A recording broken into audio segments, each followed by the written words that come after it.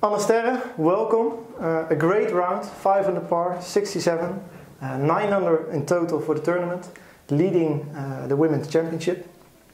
How are, you, how are you feeling after this round?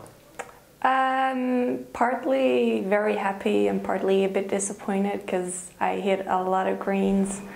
Um, didn't make a lot of putts, uh, lots of edges, lots of lips, uh, but very happy with my round. Yeah, I can imagine.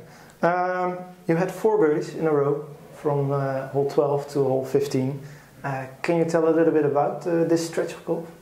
Uh, yeah, so I was a bit disappointed after missing a lot of putts, and my mom was like, you know, just play. Uh, and then I proceeded to hit driver or a wood and just 100 meter every time within three meters and making the putt. So it was pretty easy, but uh, still very hard. Yeah, you mentioned uh, the putts. Uh, it seems like the pin positions today are a little bit trickier than uh, than yesterday. Um, does that influence? Did this influence your round, or how do you cope with this?